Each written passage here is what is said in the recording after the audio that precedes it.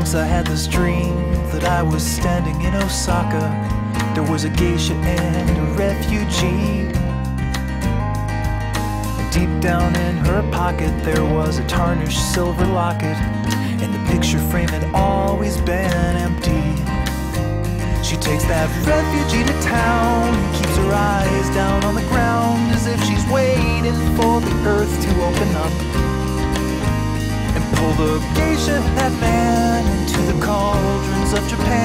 beneath the streets that only serve to keep the gravity at bay. She talks, I sleep walking. I did not hear a thing. Oh, I did not hear a thing. Oh. oh, oh. Once I had this dream